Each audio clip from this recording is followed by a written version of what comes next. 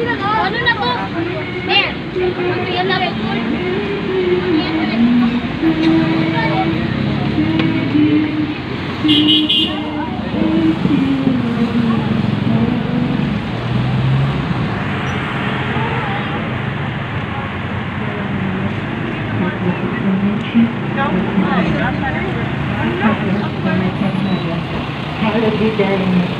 thy will be done on earth as it is in heaven. Give us this day our daily bread and forgive